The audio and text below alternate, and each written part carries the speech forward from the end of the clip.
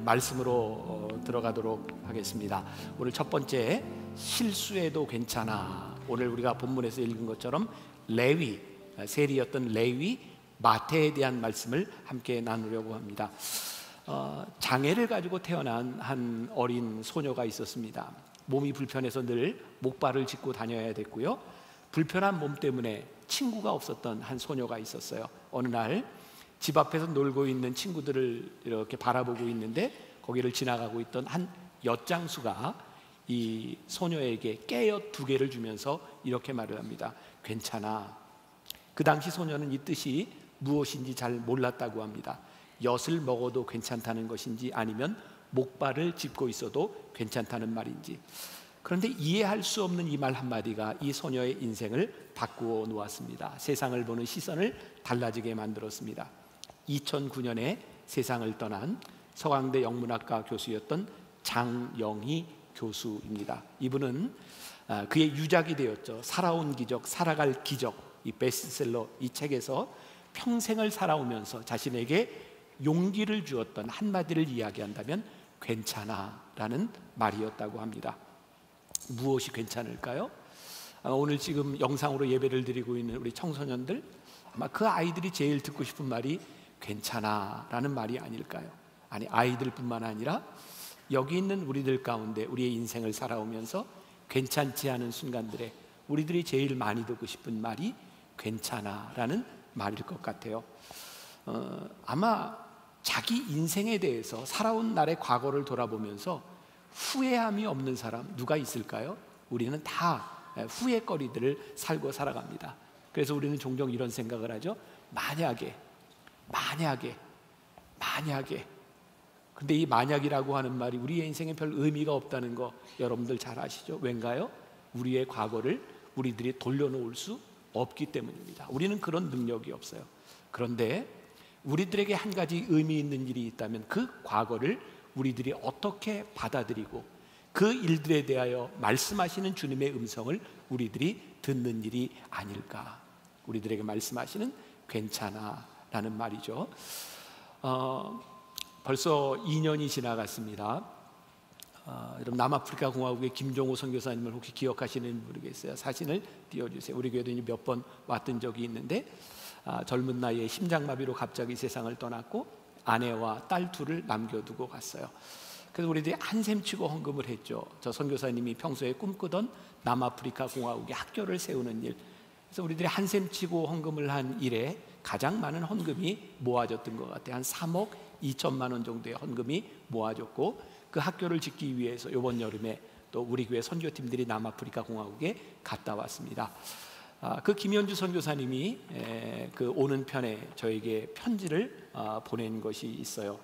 제가 조금 읽어 드릴게요. 아마 김정호 선교사님의 그 상황을 여러분들이 좀 아실 것 같은데 목사님 아, 있는 땅도 팔고 사역도 줄이라고 모든 분이 말씀하셨던 그때 저를 믿어주셔서 감사드려요.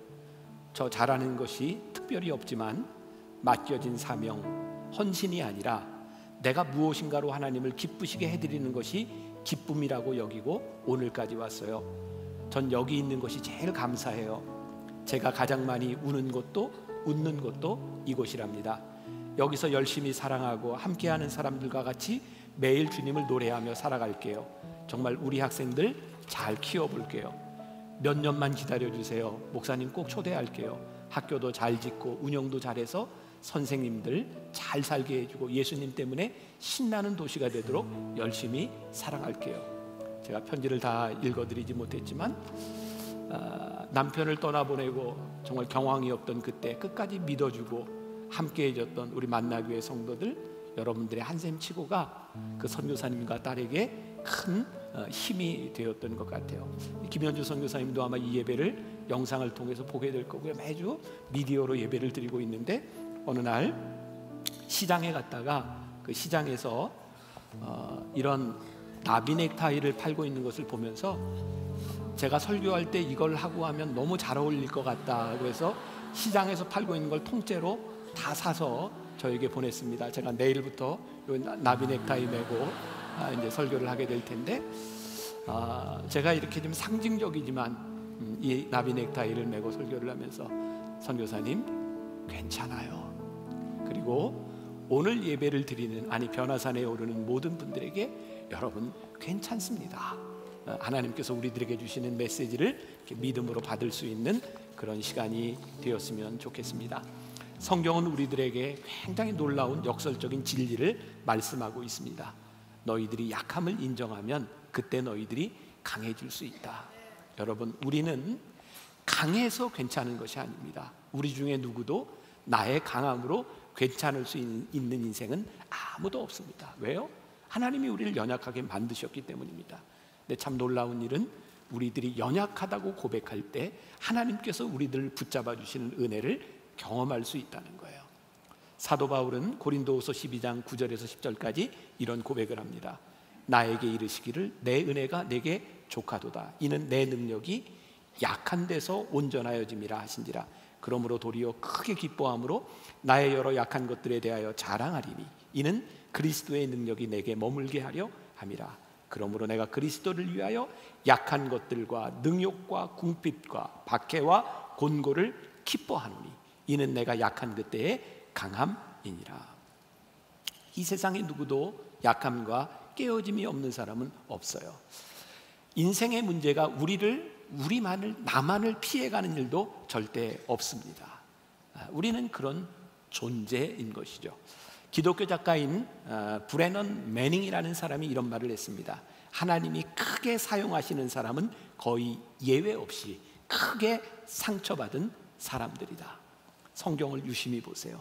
상처받지 않은 사람들, 약한 사람들, 약하지 않은 사람이 없어요. 하나님은 그들을 통해서 일하시는 것을 보게 됩니다.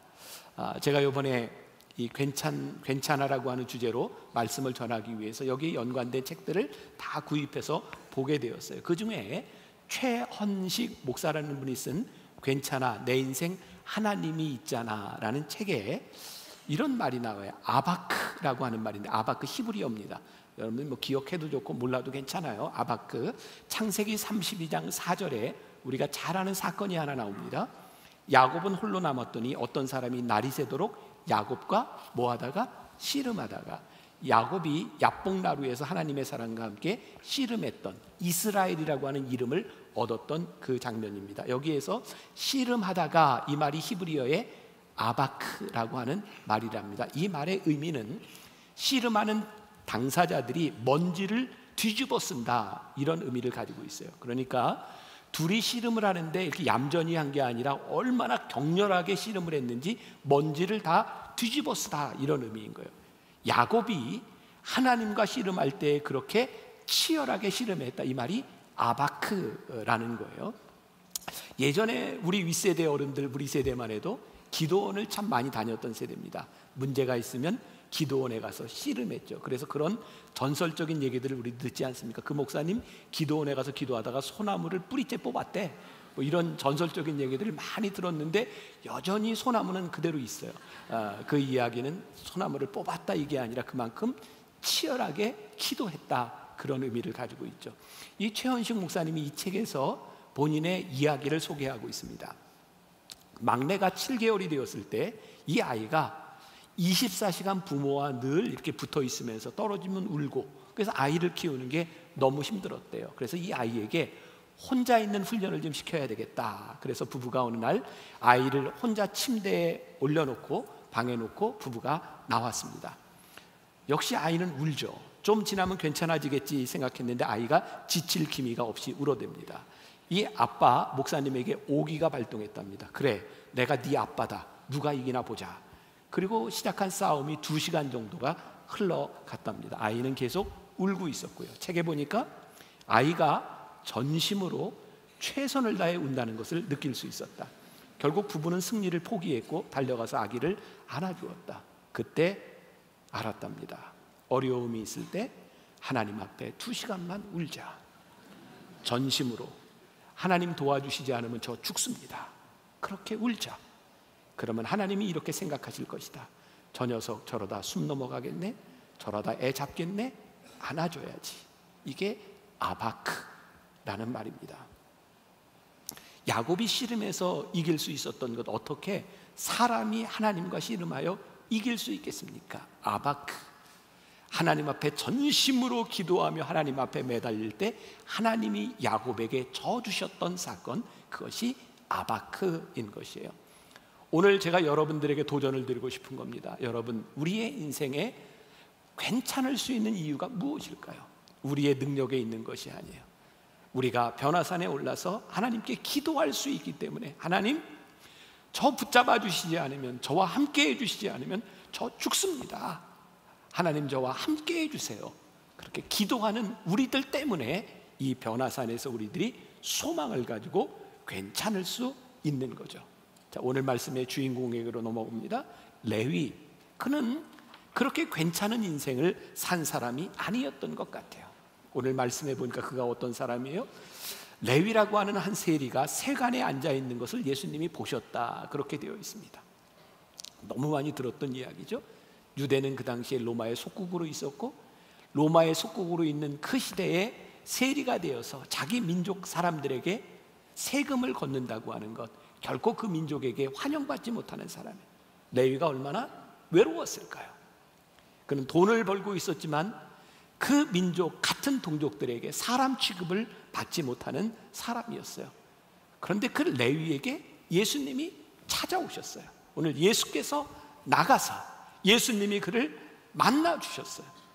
레위의 인생이 괜찮은 것은 그가 살아왔던 그의 과거나 그의 행적 때문이 아니라 그가 살아왔던 이 과거에도 불구하고 예수님을 만났기 때문에 그의 인생이 괜찮은 일이었어요.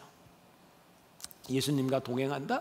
예수님과 함께한다? 이게 어떤 의미일까요? 우리는 참 오랫동안 예수를 믿는다, 교회를 다닌다, 예배를 드린다.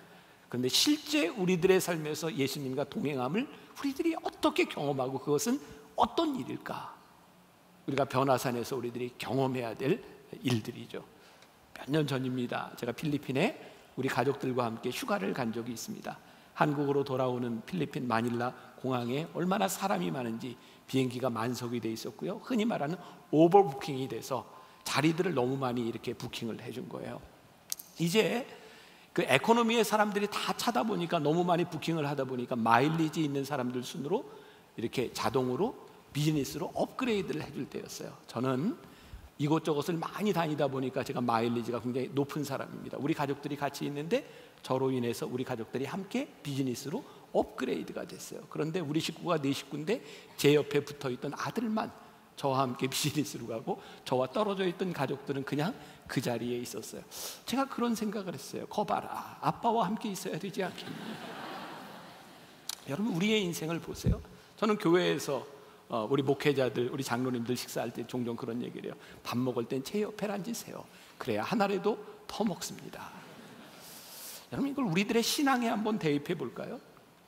우리가 신앙생활을 하면서 하나님과 함께 있어야 우리들에게 하나님의 능력이 나타나지 않겠습니까? 주님을 만나고 동행해야 하지 않겠습니까? 그런데 우리들에게 이 일들이 일어나지 않아요. 만나교회 개척하고 벌써 이제 40년 가까이 돼가네요.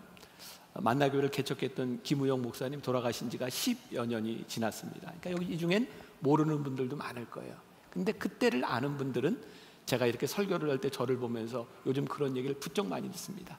목사님 모습 가운데 김우영 목사님의 모습이 너무너무 많이 보여서 깜짝깜짝 놀란다는 거예요. 어떤 분이 저에게 이런 얘기를 했습니다. 만나교회가 개척해서 막 부흥하던 때, 부흥하던 때 돌아가신 김우영 목사님이 설교를 잘해서 부흥한다고 생각을 했었대요. 근데 지나놓고 보니까 설교 때문만은 아닌 것 같다는 거예요. 김우영 목사님이 너무너무 잘생겨서 어, 부흥을 한 것 같다는 거예요. 그러면서 그분이 저에게 이런 얘기를 해요. 지금 만나교회가 성장하고 부흥하는 이유를 보면 진짜 김병삼 목사님은 설교를 잘하는 것 같아요. 어, 이게 칭찬 같기도 하고 이렇게 아닌 것 같기도 하고 부인할 수 없는 게 있죠. 저에게서 평생을 아버지의 아들로 살아왔던 아버지의 모습이 제 안에 있는 거예요. 여러분들이 평생을 신앙생활하면서 주님의 모습이 우리들 가운데 있을 때, 주님이 함께 하심이 우리들에게 있을 때 그것이 힘인데 우리들이 그렇지 못하다고 하면 그것은 우리들에게 얼마나 불행한 일이겠어요. 예수님께서 오늘 레위를 만나 주셨어요. 저는 오늘 말씀 가운데 그 동사에 많이 이렇게 주목해 보는데 예수님께서 나가사 보시고 따르라 여러 가지 동사들이 나와 있는데 저는 저 스스로 이런 표현을. 의지적 동사. 예수님께서 의지적으로 가셨고요. 의지적으로 보셨고요. 의지적으로 따라오라고 말씀하고 있어요. 예수님께서 레위를 선택하시는 일이 정말 탁월한 선택이었고요. 레위가 예수님께 선택을 받음으로 인해서 그는 주변부의 인생에서 중심부의 인생으로 돌아온 사람이었어요. 그런데 한번 생각해 보세요. 예수님께서 레위를 선택하신 것이 정말 탁월한 선택인데 레이라고 하는 사람을 놓고 봤을 때 정말 탁월한 선택의 대상이었는가? 예수님의 제자 12명 중에 뭐 다 이렇게 뛰어난 사람은 없지만 손가락질 받을 만한 사람들은 없었어요. 레위는 유일하게 12명의 제자들 가운데 손가락질 받는 사람이었어요. 왜? 세리였으니까. 세리는 그 당시에 죄인과 같은 사람이었으니까. 만일 예수님께서 우리들이 흔히 이야기하는 포퓰리즘, 인기에 영합하는 분이라면 예수님께서 뭐하러 레위를 부르셨겠어요? 예수님은 레위를 부르심으로 인하여 사람들에게 욕을 먹어요. 바리새인들과 사두개인들이 예수님을 질책하기도 해요. 그러니까 예수님은 레위를 부르실 때 인기에 영합한 분이 아니라 레위를 불러야 되는 이유가 있었던 거예요. 그를 사랑하시기 때문에 부를 수밖에 없었던 거죠. 레위는 자격 있는 사람이 아니었어요. 제가 수년 전에 그런 설교를 했던 기억이 납니다. 저에게 참 부러운 사람들이 있었어요. 선교사님들. 아, 삶을 하나님께 드리고 선교하는 분들을 보면 너무너무 부러웠어요. 나는 저렇게 살지 못하는 게 부끄럽기도 하고. 그리고 선교사님들뿐만 아니라 우리 교인들을 보면서도 이런 말들을 하는 사람들 종종 보고 나는 내 삶을 하나님께 드릴 겁니다. 근데 저는 그럴 만한 용기가 없거든요. 근데 어느 날 제가 기도하다가 하나님께서 저에게 그런 마음을 주시더라고요. 입장을 바꿔놓고 보자. 나를 하나님께 드린다. 우리들 입장에서 보면 이게 굉장히 위대한 기도처럼 보이는데, 들리는데, 하나님 입장에서 그런 기도를 보니까 이게 위대한 기도가 아닌 거예요. 하나님, 나를 쓰세요. 하나님 입장에서 보니까 정말 곤란한 거예요. 내가 너를 써?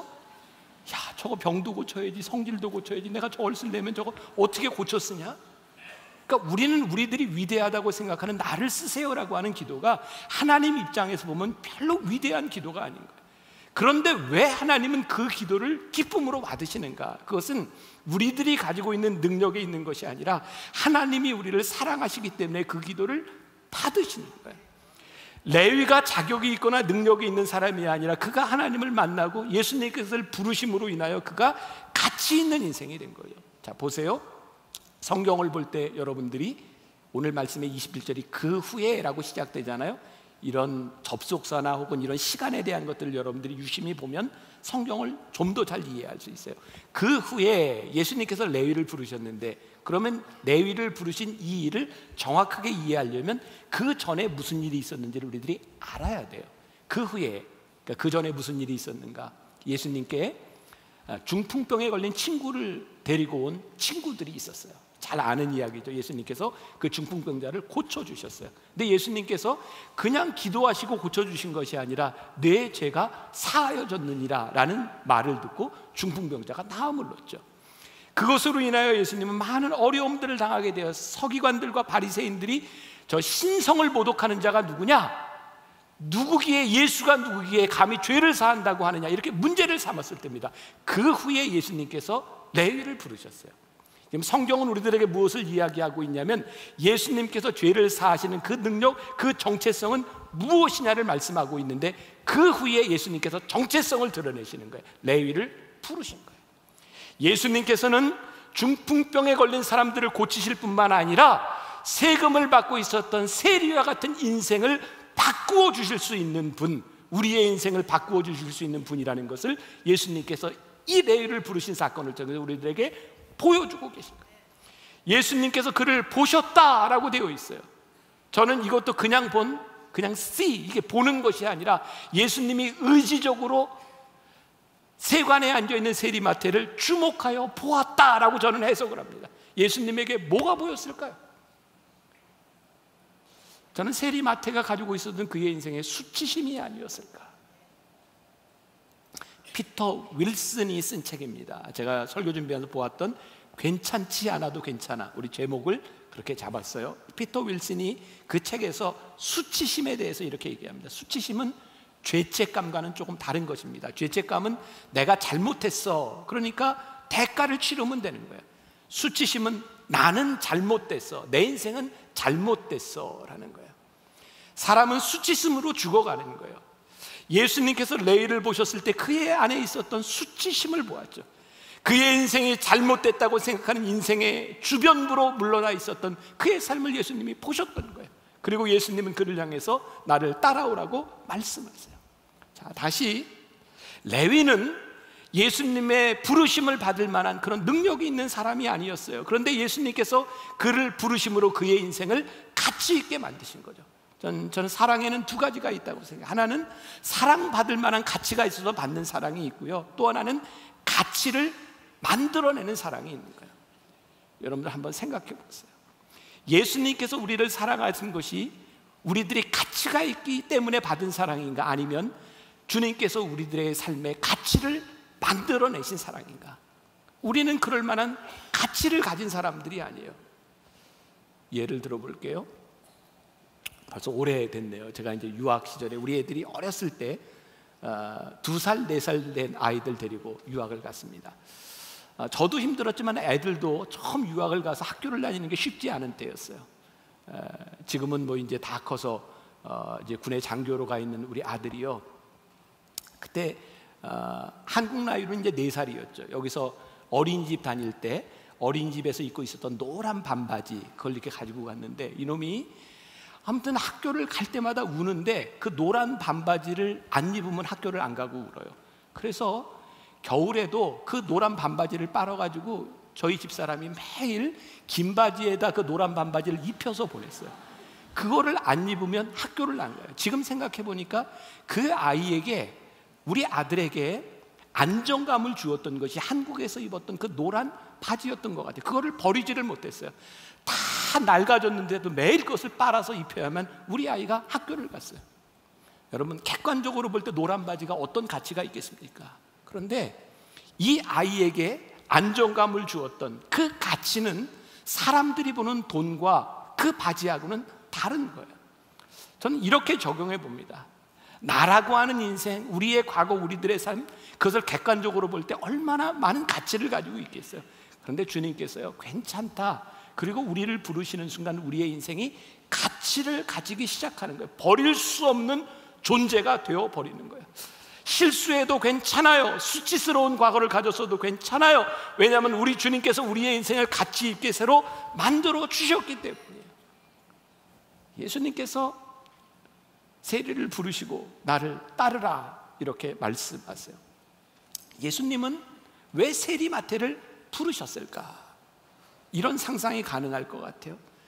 지금 세관에 앉아 있는 세리, 과거에 그렇게 수치스러운 인생을 살았던 과거의 세리 마태를 예수님이 보고 계신 것이 아니라 예수님이 쓰실 수 있는 인생 사명자로서의 미래의 모습을 예수님이 보시지 않았을까요?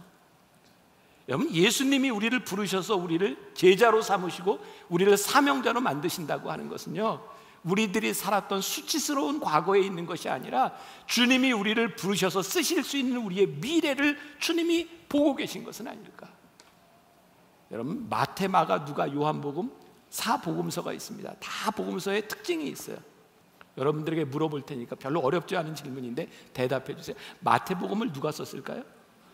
네, 마태가 썼어요. 아유, 10시 예배 때는 거의 모르더라고. 이렇게 물어봐도. 네, 마태가 썼어요. 그 마태의 본래 이름이 레위였어요. 레위. 레위 마태예요. 마태복음의 특징이 뭔지 아세요? 여러분 성경에 산상수훈이 많이 있는데 산상수훈을 가장 정확하게 기록해 놓은 것이 마태복음이고요. 예수님의 족보를 14대씩 끊어 가지고 가장 명확하게 기록해 놓은 것이 마태복음이고요. 예수님의 비유를 가장 일목요연하게 적어 놓은 것이 마태복음입니다. 여러분들 마태가 아니었다면 우리는 예수님께서 말씀하시는 그 산상수훈을 이렇게 정확하게 우리들이 알지 못할 수도 있어요. 예수님께서 레위를 부르셔서 귀하게 사용하셨고 마태복음을 기록하는 사람으로 예수님이 쓰시죠. 여러분 예수님께서 세리 마태를 부르셨을 때 그의 인생에 나타난 변화가 뭔지 아세요? 저는 이렇게 표현합니다. 그의 존재, 그의 삶이 뒤 흔들어지는 그의 터전이 흔들리는 경험을 하게 되죠. 무슨 이유였는지 모르겠지만 그가 세리가 되고 그가 세간에 앉아 있었다는 것은 그의 가치가 무엇인지를 이야기해 주죠. 예수님께서 그를 부르셨을 때 세리마태가 무슨 일을 했는지 아세요? 예수님을 위하여 잔치를 베풀었다. 주변부의 인생에서 사람들을 피해가던 그의 인생이 예수님의 부르심을 받은 이후에 예수님을 위하여 잔치를 베풀고 사람들을 모으는 인생이 되었다는 거예요. 그는 더 이상 주변부에 있는 사람도 아니고 자기만을 위해 사는 사람도 아니고. 전 이런 생각을 합니다. 자기 자신만을 기쁘게 사는 인생, 이기적인 인생이죠. 남을 의식하며 살아가는 인생, 기회주의적인 인생이죠. 근데 주님께서 우리를 부르신 그 삶을 살아가는 인생은 사명 중심적인 인생이 되는 거예요. 사명이 찾아오기 전에 우리는 사람도 무섭고 우리의 살아왔던 과거도 부끄럽고 그래서 자꾸 우리를 애써 외면하려고 하기도 하고 무시하려고도 하지만 주님께서 우리를 부르실 때 우리의 인생이 괜찮은 거예요. 우리를 부르셔서 그 사명 안에서 우리들이 부르심을 받기 시작할 때 주님을 위하여 잔치를 베푸는 인생이 될 수 있는 거예요. 누구를 향해서 우리의 문을 열 수 있는 인생이 되는 거예요. 제가 이런 표현을 쓸 수 있을 것 같아요. 그의 존재가 뒤 흔들리는 경험. 예수님께서 오셔서 너 괜찮아. 너 쓸만해. 나를 따라와. 라고 말씀하셨을 때 그의 인생이 뒤 흔들리는 경험을 했던 그 역사가 오늘 우리들 가운데, 우리의 인생 가운데, 우리 변화산 가운데 있기를 주님의 이름으로 간절히 축원합니다. 저는 오늘 여러분들을 바라보며 제가 이렇게 믿음으로 기도하며 하나님 괜찮죠? 우리 사랑하는 성도들 하나님 괜찮죠? 오늘 여러분들이 오기 전에 우리 장로님들과 목사님들 모여서 기도하고 찬송하고 우리 이렇게 얘기했어요. 이번 일주일 동안 우리 장로님들 만나는 사람마다 어깨에 손을 얹고 괜찮아, 괜찮아 위로해 주세요. 괜찮아. 우리 목회자들 스스로도 괜찮아 우리들 위로하며 우리를 만나 주시는 하나님 우리의 인생을 위로하시는 하나님을 여러분들이 이 자리에서 만날 수 있기를 주님의 이름으로 간절히 축원합니다.